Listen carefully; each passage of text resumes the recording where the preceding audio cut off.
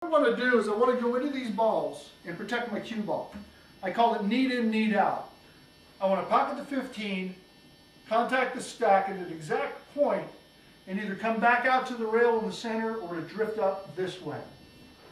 I don't want to have other balls hitting my cue ball. See how my cue ball came back out without touching another ball?